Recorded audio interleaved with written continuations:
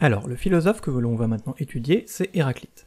Donc Héraclite, c'est un philosophe présocratique qui est né en 535 avant Jésus-Christ et qui est mort en 475, donc toujours avant Jésus-Christ. Donc plus précisément, Héraclite, il est né à Éphèse, donc c'est une colonie grecque de l'époque qui se situe maintenant en Turquie. Donc Éphèse.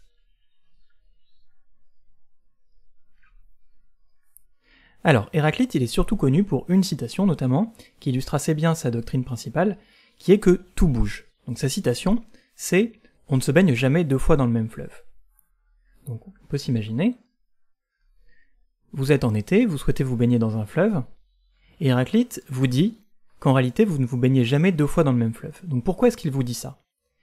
Il dit ça parce que lui, sa doctrine, c'est que tout est en mouvement, tout bouge. Donc il y a des oppositions qui changent perpétuellement, donc par exemple le jour, la nuit, le chaud, le froid, les saisons, les années, etc. Donc tout est dans un, mouvement en permanent. C'est-à-dire il y a vraiment un, un cycle qui se fait, et donc tout bouge. Rien ne reste parfaitement stable. Il n'y a pas d'identité qui soit perpétuelle. Tout est en mouvement. Et donc c'est très important, parce que pour Héraclite, ça veut dire donc qu'il n'y a pas de stabilité, il n'y a rien qui est stable. Mais le fait qu'il n'y a rien qui est stable, ça ne veut pas non plus dire que tout est chaotique.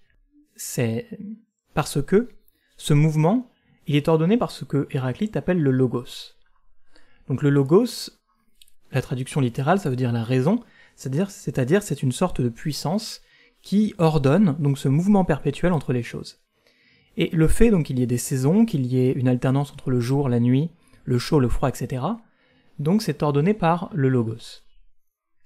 Mais pour revenir à la citation, pourquoi donc est-ce que Héraclite veut dire on ne se baigne jamais dans le même fleuve Eh bien, ça veut dire que, en réalité, lorsque vous vous baignez une fois dans un fleuve, l'eau, elle va bouger.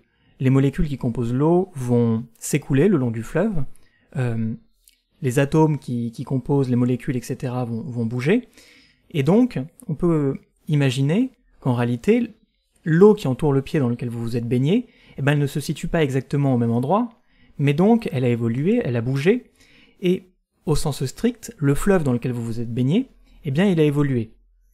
Donc ça c'est la première partie l'eau qui composait le fleuve, elle a bougé, elle a changé, elle est en mouvement, et donc le fleuve, ce n'est plus exactement le même.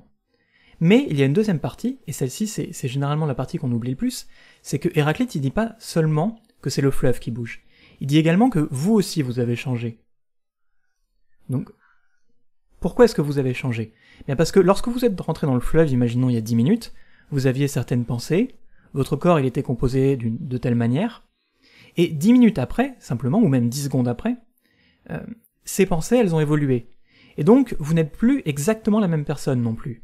La personne que vous étiez il y a dix minutes, elle a évolué.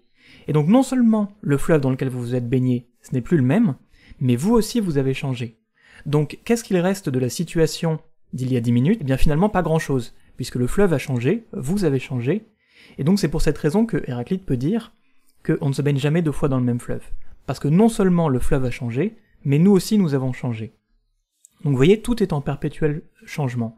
La situation qui était là il y a 10 minutes n'est pas la même que celle actuelle. Le monde est en perpétuel changement, vous êtes en perpétuel changement, et donc rien n'est stable, rien n'est parfaitement identique à lui-même. Donc rien n'est identique à lui-même. Donc voilà, j'espère que cette petite vidéo aura pu vous aider un peu à comprendre la doctrine d'Héraclite, qui est vraiment axée sur le changement perpétuel entre les choses, qui est ordonné donc par le logos.